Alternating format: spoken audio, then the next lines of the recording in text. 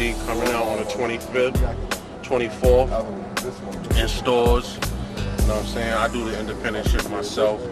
Um, we got the joints up in Tower this time. HMV, they taking it straight from us, putting light boxes in the stores. And we're gonna get it popping, you know what I'm saying? Reloaded back on the streets again, you heard? I always, I take a little vacation and I come back, but it's really not, to the fans it's like a vacation because they don't hear nothing for a month. But to me, it's it's cooking up some new shit, you know what I'm saying? And unfortunately, like, you see it, you see it happen to a lot of rappers. You hear rappers on mixtapes heavy, then when they get signed, you don't hear nothing from them. Cause they, cause yeah, because they got their ass in the studio making bigger songs. So it's hard for a person like me, because it's only two of us, me and Bandana, and then we got people who work for us that, you know what I mean, we do our own shipping, calling stores, pressing, recording, writing, editing, you know what I'm saying? So, and all of that is hard for me to just stay on the mixtapes at the same time and hit the streets with some ill shit or reload it. You heard in the ghetto documentary at Queensbridge, you heard? And Lil E looking real big on there, you heard?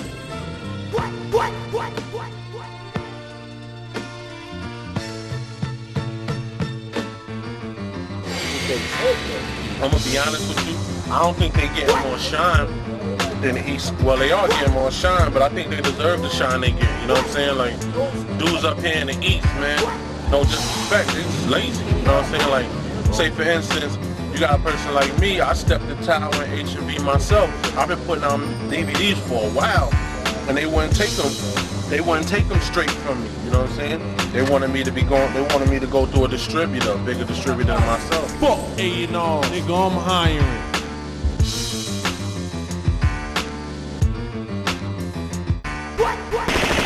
Reason why I'm not signed is because I don't want to go through a, big, a bigger distributor than myself. You know what I'm saying?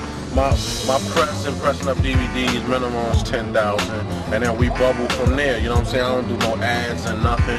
I put it on the show. You see posters. I do radio and retail runs, and we move. You know what I mean? So I'm eating like I'm, I'm eating on my own. Get seven, eight dollars off a DVD fuck I need to be signed to a major label. I, I ran major labels, I ran Mobb Deep's label. Before that, I seen the problems. You know what I'm saying? When an artist is signed to a major label, you're just too far away from your product. You know what I'm saying? Like you know, you really don't, really no longer own the product. It's like it's like a lease rental type shit. You know what I'm saying? They put money up for you to get in the studio and they want to recoup. And, and you sit on the shelf unless you get your shit popping.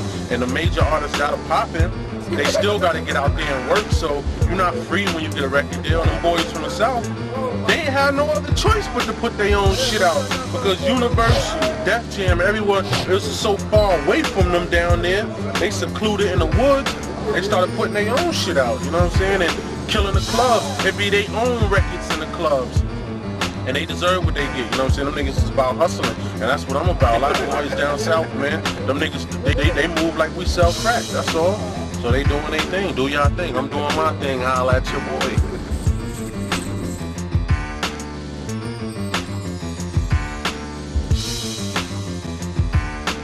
I mean, I mean, I'm just who I am. I don't, you know what I'm saying? I'm an entertainer to people who probably buy my shit, but I'm just who I am. You know what I mean? Like, I don't come out of the house and say, yo, I want to start beef to sell some records because I was eating before I started fucking with Mobb Deep. Honestly, when I came when I came home, Mobb Deep ain't have room for a nigga like me, you know what I'm saying? Nas ain't have room for a nigga like me, and what I mean by that is they, weren't ready to produce what I was trying to gain at that point. I wanted to get on. I wanted to eat. You know what I'm saying? I'm used to eating before I left and went up north. I was getting money and, and they were running around the hood with writing pads. And we all looked at it like it was a joke because we were eating and they weren't. And I come home five years later and the same writing pads that they was running around with basically now, you know what I'm saying, consistent currency shit to turn into money, you know what I mean? So I look at A and B. Do I want to sit on a crate in Queensbridge and make two, three hundred dollars a day, opposed to sit in a studio and in 15 minutes make 15 grand for 16 bars? Do the math, the math, the math, the math. You know what I'm saying? You, you, you get down with, with certain individuals and you become shields and, and, and they spokespeople because if it wasn't for me, Mobb Deep wouldn't even sold no records on this run. They've been out 15 years. They don't grind hard enough, you know what I'm saying? They, they don't get out there like that. I'm the streets. I'm knocking niggas out at shows, you know what I'm saying? They not. They getting chains taken. That's not what the public want to hear from a group like Mobb Deep, you know what I mean? Jay-Z put Homie on the stage, and it's been a rap. It's like, I, I didn't, I just reset it in a song. Like, you know what I'm saying? Like, the world looks at Mobb, the world looks at Mobb Deep as Queensbridge, and they want to know how we live in the biggest project in the world. And when you getting your chain taken all the time, and you got a person like Jay-Z that got you on a Summer Jam screen in front of 30,000 people, and ain't nothing happening, the gangsters might not want to copy your music no more. So I, I, didn't diss Mobb Deep. I ain't hurt Mobb Deep. I just said what it was. What it is is you got a group that's used to selling a million records. Last album before before Infamy, 2002 they came out with Infamy. They sold 800,000 records. Then after that, they did a, a, a, a joint with Land Speed that sold 200,000 records. Now they just spent 2.5 million dollars on a major label like Jive and sold 300,000 records. So I didn't stop the fans from buying their music. The fans stopped buying that shit. You know what I'm saying? And, and we were down with each other. We was eating, we were moving, we were doing things. And shit just didn't work out, man. You know what I'm saying? All the shows. All the times we traveling with them. See, what people don't know is before I got down with Mobb Deep, I was booking them. You know what I'm saying? I came home from jail, I had a little bit of money. I was booking them. Jersey, here, Vegas. I would fly out somewhere of people that I was fucking with. They would let me know about clubs that's popping. I rent the club, I pay for radio, and I fly my live. Back to the script. What happened was, we do the down south run. It was boring. The first two or three, the first two or three, you know what I'm saying, venues we went in, it was like, they weren't really feeling Mobb Deep because they was gone so long. So I said, yo, this is what we're gonna do. Every time we pull in, we're gonna do a free show for the DJ on the radio. We ain't gonna charge them. You know what I'm saying?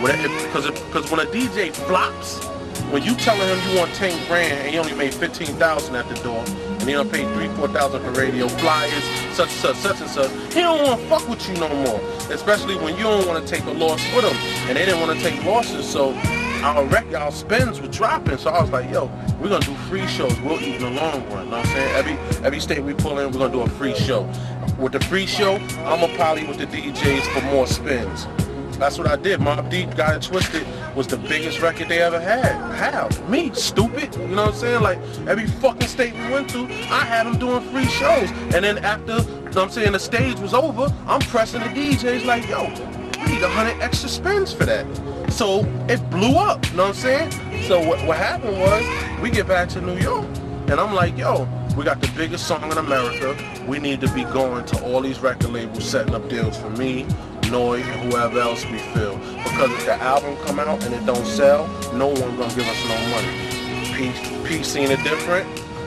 If you look now, it was the truth. They they they got dropped off job. When I left, everything crumbled. Them niggas is on Koch right now.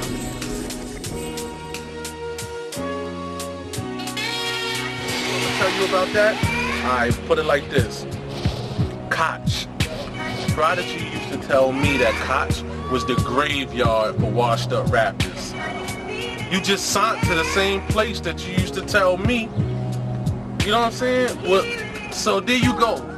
You know what I mean? That's what it is. But I moved on. I'm doing my own thing, man. Like I think that I think it was a good thing I stopped fucking with them before they got dropped. And before, you know what I'm saying, the world see that they wasn't selling no records because then everybody would have been like, you know what I'm saying, Little's dissing them, going at them because they fucked up and he trying to come up. So I'm glad everything sparked because Prodigy thought they was out of here.